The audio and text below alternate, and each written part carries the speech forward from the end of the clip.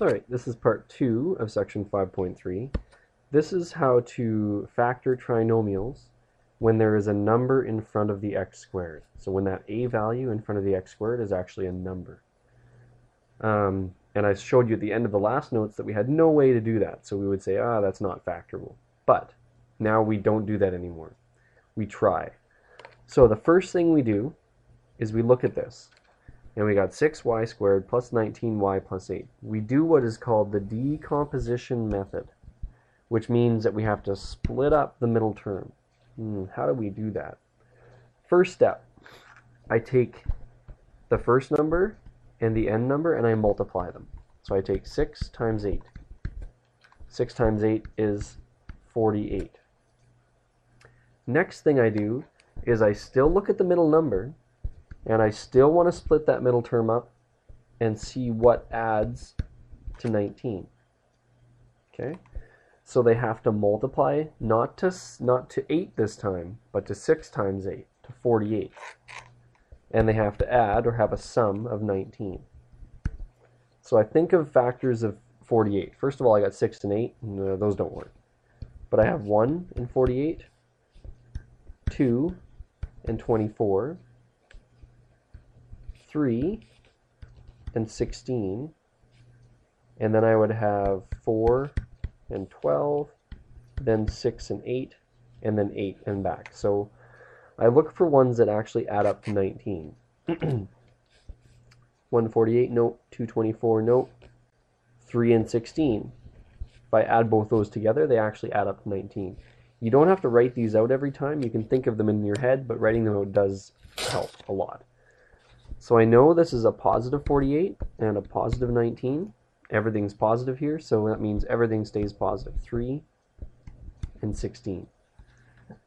Now I'm not done because usually what you would do is you'd set up your two set of brackets and be done, but you cannot do that for this. I can't stress that enough. What you do is you split up that middle term into the two numbers I just found.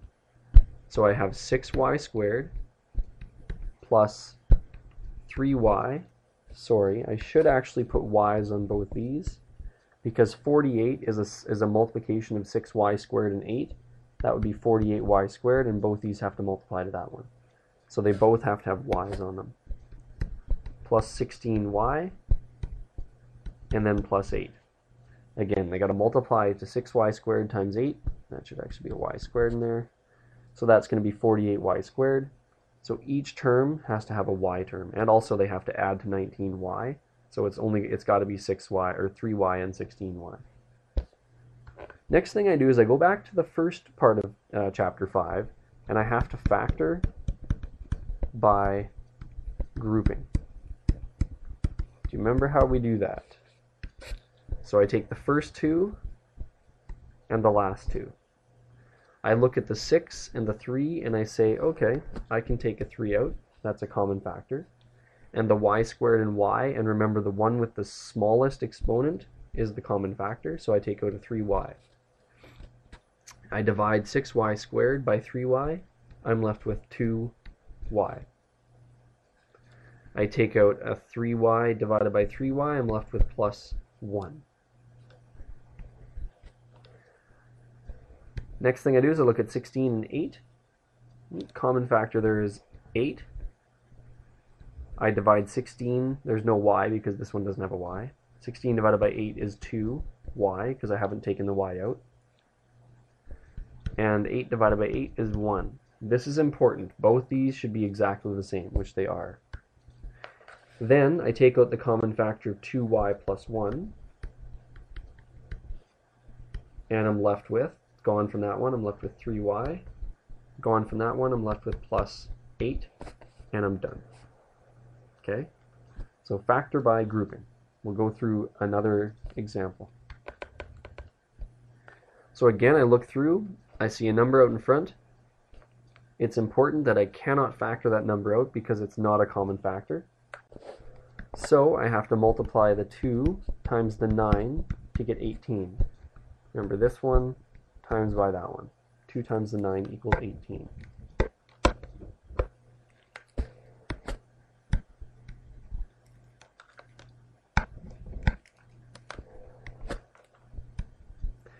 Next thing I do is I need to split the 18 up, and it's got to add to that middle term, a positive 3. Whoops. That should be a negative 18 because it's 2 times negative 9. And it's got to add to a positive 3. So I think of factors of 18. I have 1 and 18. Whoops. 1 and 18, 2 and 9, 3 and 6. That's it. so I look at combinations of these that if I add them, I can get a positive 3. 18 minus 1 is 17. Uh, 9 minus 2 is 7. The reason I'm subtracting is because I know one of them has to be negative, because they have to multiply to a negative 18. 6 minus 3, positive 6 minus 3 is a positive 3. So I know that my two factors are going to be a positive 6 and a negative 3. A positive 6 and a negative 3. And keep in mind that that would be an m squared term, so those both have to have an m and an m on them. And those are multiplied to 18 and they add to 3. Good. Excellent. So am I done? Nope. I have to split that middle term up into those two I just found. So I have 2m squared plus 6m minus 3m minus 9. It's also a good idea to pair up your two factors with ones that pair up well. Like the 6 pairs up well with the 2. The 3 pairs up well with the 9. Because when I do my factor by grouping, and I look for common factors, it's easier to see what the common factors are. In this case, 2 and 6 is 2, m squared and m is m. I divide those two out. I'm left with just an m plus 3. 6m divided by 2m is 3. I'm going to take out a negative 3. A negative 3. I'm left with a positive m, and negative 9 divided by negative 3 is a positive 3. Also, I need the two sets of brackets to be identical because I need to factor out that m plus 3. It's got to be common between both. And I'm left with my 2m minus 3, and I'm done. So factor by grouping, check to make sure both of your brackets are exactly the same, and then pull that out in front, and you're left with 2m because the m plus 3 I've factored out, and the minus 3 because the m plus 3 I've factored out. Alright, almost done here. Next one here, again, I got a 6 out in front. Uh oh it's not common between everything. So 6 times 2 is equal to, oops, not 6 times 12. 6 times 2 is equal to 12. And I split that up and it's got to add to 13. So factors of 12, 1 and 12. I don't even need to go any further because I know 1 and 12 multiply to 13. These are all positive, so that means my 1 and my 12 are also positive. Now this time it's got an M and an N, so I know that both these are going to have to have an M N, M N. So again, I split that middle term up.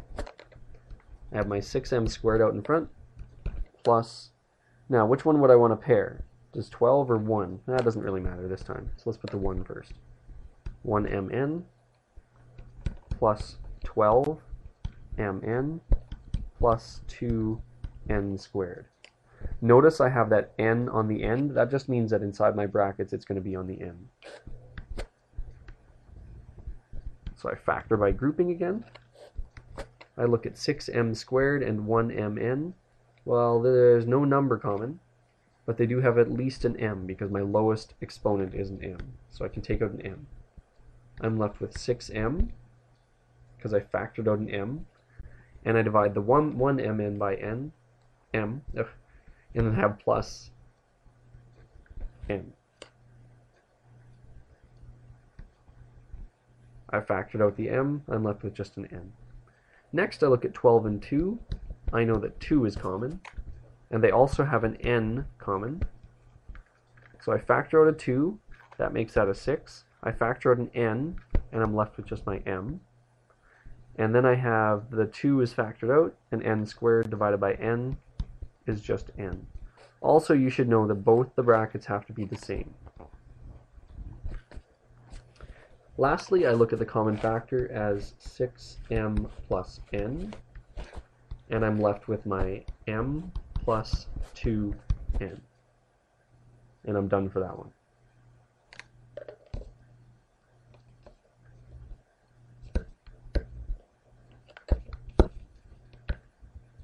Whoa, what happened there? I can't even erase that. That's no good. All right, last one. There's questions in the book that say, for what value of b can this be factored? And you're given one like this. No number in front, so we're back to the original ones where we just have to set up two sets of brackets. And we only have to look at factors of 4. So we start with 4, two numbers that multiply to 4, and add to the middle we don't know. So we're just going to look at factors of 4 this time. They are 1 and 4, and 2 and 2. This is a negative, so I know both of them are going to be negative because they multiply to a positive and add to a negative. If I add these two, negative 1 plus negative 4 is negative 5. If I add these two, negative 2 plus negative 2 is negative 4. So those are my two b values. I know that either one of those b values means that this can be factored, because if the b value is a 5, I would know those would be my two factors. If a b value is 4, I would know that 2 and 2 would be my, my factors. So b equals 4 or 5. The negative sign is already there, so I don't have to put it. I just say 4 or 5, the negative sign is already there.